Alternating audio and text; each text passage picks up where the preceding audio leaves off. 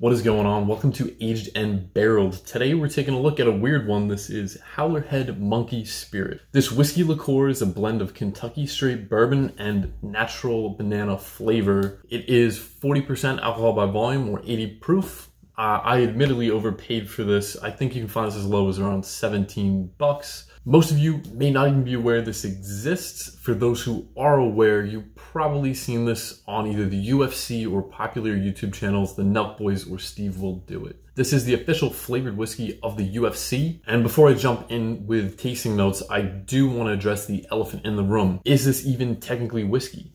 Before we answer this question, a quick rundown of what can legally be called whiskey in the United States. In order to be considered whiskey within the United States, it must abide by the following criteria. The definition is purposefully and frustratingly vague, but here are the main points. Produced from fermented grain mash, distilled at a maximum 190 proof, bottled at a minimum of 80 proof, stored for some time in oak containers, and possess the taste, aroma, and characteristics generally attributed to whiskey.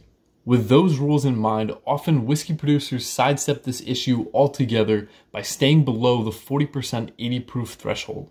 Since whiskey by law must be bottled at at least 40%, similar products such as Fireball, the flavored Crown Royals, Screwball Peanut Butter, and just about all of the honey whiskeys fall below this 40% threshold. There are some obscure exceptions such as Bird Dog Peanut Butter, so, to answer the question of is this whiskey, the answer is no, and here's why. Where the rules regarding American whiskey are not vague is that additives must not significantly change the overall flavor of the whiskey. In the case of Howlerhead, the added banana flavoring completely dominates any bourbon characters. Alright, let's pop the cork off and give it a try.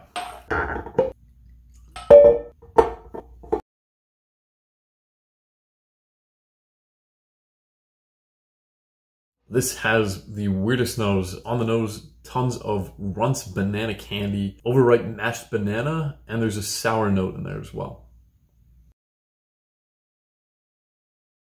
The alcohol is pretty low in this. Um, it is somehow even sweeter than it smells. I don't know how they managed to do that. Again, tons of this Runts banana candy and a very intense sugar flavor. Okay, on to the scoring section. Starting off with flavor, there's tons of banana flavors, including candy banana, mashed banana, a sour note, and an overwhelming amount of sweetness. The strength is 40%, the bite is low, the complexity is low, and the price sits around $20. So, what's there to say about Howlerhead? To be fair, this was probably never meant to be poured into a Glencairn glass to begin with. Absurdly sweet, with banana flavors dialed up to 11, it makes flavored whiskey liqueurs like Fireball seem subtle. The MO, get it down quick and hope it doesn't come back up. I can see this being a regular staple for partying college students, but personally, it's not for me. There's something painful about taking a perfectly good Kentucky straight bourbon and pumping it full of banana sugary flavor. Business suggestion, Save some money.